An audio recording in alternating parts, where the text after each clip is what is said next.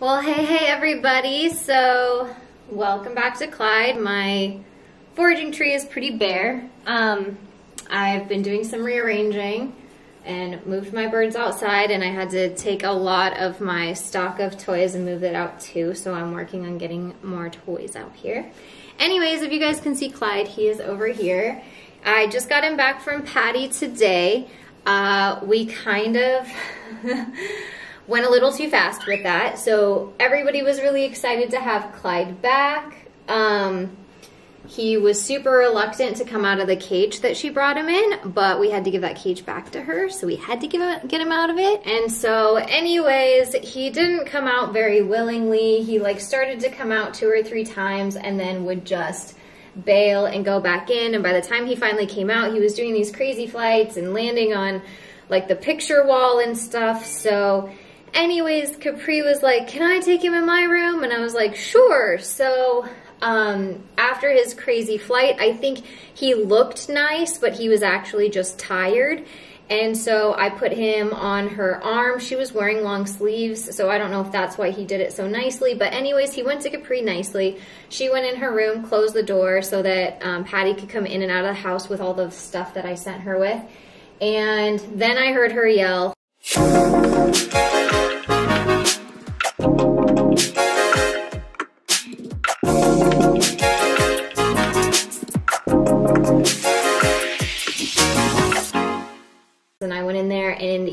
Had apparently bit Capri in the face. Not enough for me to like show you guys any damage by any means. She wasn't bleeding, but she had a really rough morning anyway. She just had a tooth pulled yesterday. She hit her head on like the desk while trying to unplug a computer earlier that morning. Like she was just having a rough morning.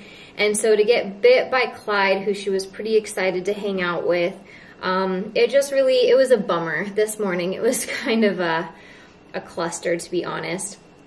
The good news is that Patty fully diet converted Clyde onto my cockatiel seed mix, which I'm really excited about, which um, Patty actually gave me the recipe for. It's her recipe. And so I'm really excited about that. And I want to share like the takeaways with that. I've personally never struggled getting a bird from one seed mix to a different seed mix. And so this was new for me having him struggle.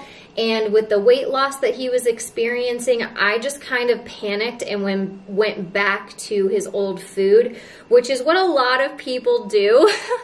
So the interesting thing that Patty taught me about diet converting from seed mix to seed mix, so we were going from a store-bought crappy seed mix to um, our homemade seed mix, one of the things she realized by eating his old seed mix is that it had home like granola in it, like a cereal of granola. It was super duper sugary and it made the entire seed mix really sweet. So she said it was one of the worst seed mixes she'd ever seen and she was just like, there's no way I'm feeding this to him.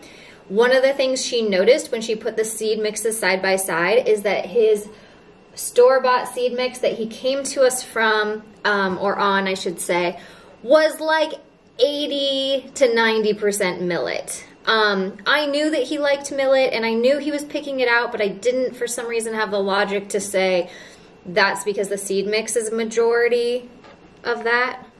So anyways, Patty was smart enough to realize that the majority of his seed mix that he came on was a majority of millet.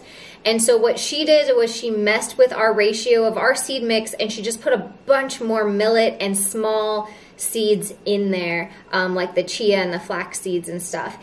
And what happened was he was way more receptive to it. So she's like, I would rather have him on even, let's just call it a 100% millet diet. Let's just say he's on 100% millet, which I was convinced he was. Um, it would be better that he's on our 100% millet diet than their 100% millet diet that had so much sugar and all these other things in it and mixed in it into it and it was a low quality. I totally get her point. It makes sense now that she says it. Um, but I definitely panicked. I panicked. And I'm usually like kind of a master at diet conversion and this one got me. So I'm really excited to pass on this lesson to you guys and I hope that it helps a lot of you.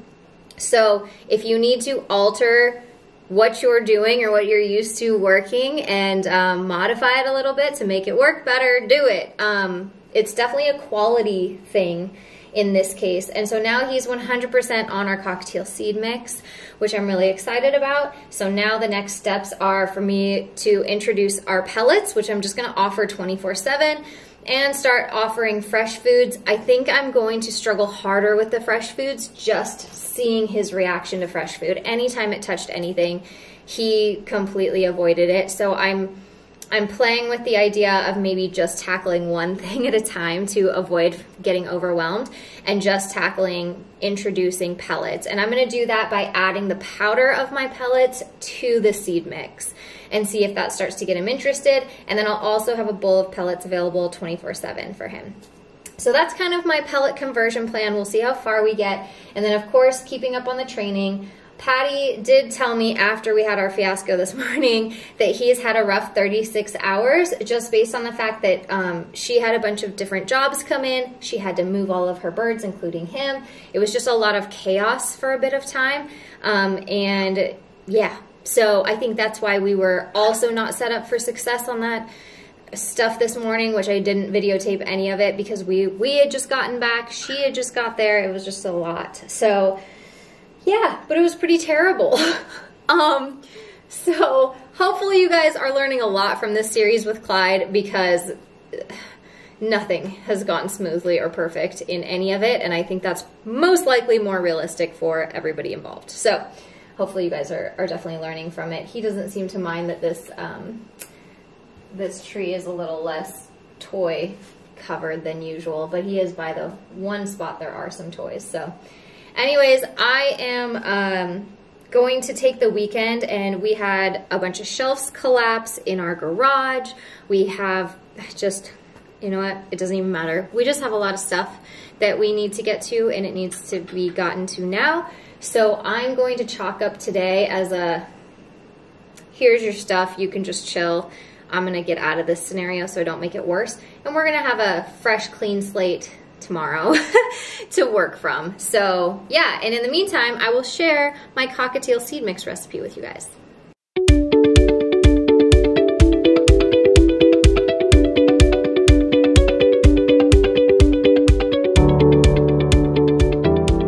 Okay, so today is a new day with Clyde. Um, I haven't weighed him yet today. I've started really giving him his mornings to himself. He just seems to do better that way.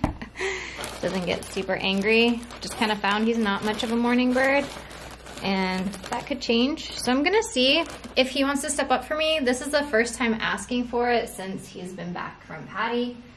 Um, he's not in an ideal position, being so high up and awkward for me. I don't have a step stool. You want to come? Oh. Hey, look, look. Look. You just don't care?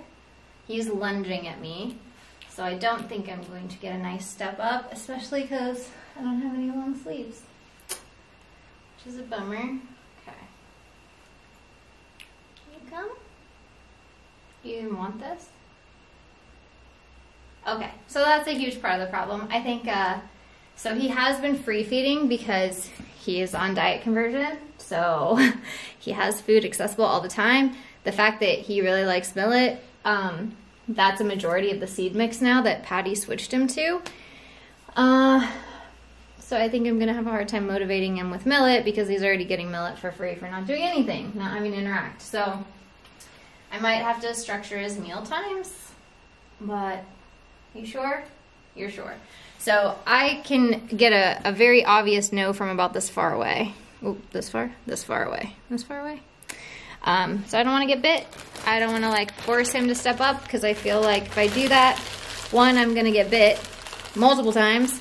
And two, he's likely to just like end up flying off and, and being bad. So I'm going to go with the fact that even though I can't weigh him, um, and that is important, it's just one single day of not weighing him and I will be able to set up better for either later today or tomorrow of just delivering his food from me or somehow associating me positively to be able to weigh him tomorrow. Um, but he's very, very consistent, has the exact same weight every single day with Patty, had the exact same weight with Dave every single day. So I'm not worried about a single day of not being able to weigh him. Um, and yeah, I'm just gonna chalk it up. You know, this is the first project bird I've had where I have allowed quite a bit of time of just like letting him hang out and get a little bit more comfortable. Um, seems to really work against me if he's crazy uncomfortable, which is interesting because with most birds, there's that slight discomfort actually works in your favor. Oh, hey there. Life, life, you guys. Um, yeah, so I'm just gonna let him hang out. I would really like to move him onto my back patio porch and have him outside in the fresh air and stuff. I don't think that's in the cards for today, and I have some cleaning up to do back there. But I would love to move him back there and just have him getting fresh air, bathing. He seems to really like bathing, so if I can bathe him more and associate myself positively that way, that'd be really cool. Just kind of looking for all the routes that I can make him happy with my presence. um, so yeah, we'll see how far we get over the next few days. Hey, bud. Do you want to come outside? Found a little bit of a way to get him to step up nicely. Like this. I'm going to put you on this one. Oh, sorry. Sorry, guys. Handling bird. What do you think? Ooh, feels nice out here. Might need to give you a bath out here. Looks a little messy out here. We have a bunch of stuff waiting to go in this shed that we have being built behind the studio because the studio is where our storage shed used to be and now we have no storage so actually you can kind of see it over there right there um, but anyways when that is done, all this stuff will be moved out of here. But for now, it's still spacious. Um, you still got lots of room. What do you think? Does it feel good out here? Yeah, gotta feel nice.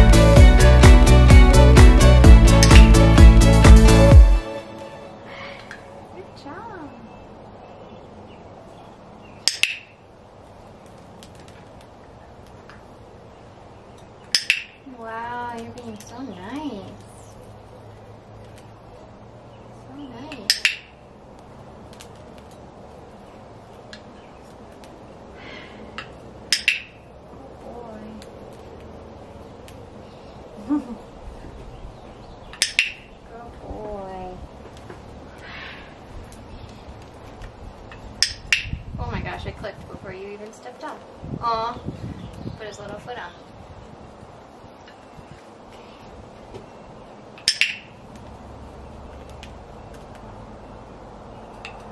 What? What are you mad about?